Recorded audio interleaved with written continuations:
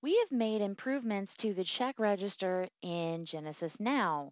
So, for those of you who utilize the accounting features in JenesisNow, namely the check register, you're going to see an improvement.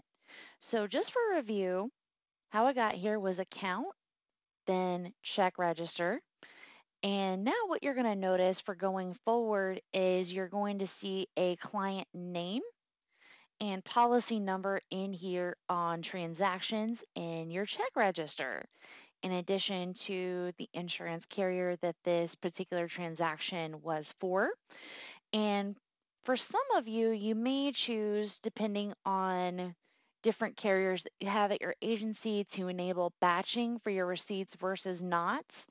So for those that I have, like this big cat brokerage that you see here, have batching turned off for that particular one. So every single client is going to be their own line item transaction in here. And for those of you who do have companies that you like to do batching for, what you'll see for going forward is multiple.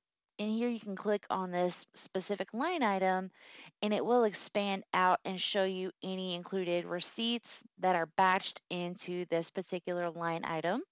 So we hope that you are going to appreciate this change at your agency if you are currently using accounting features in JenesisNow.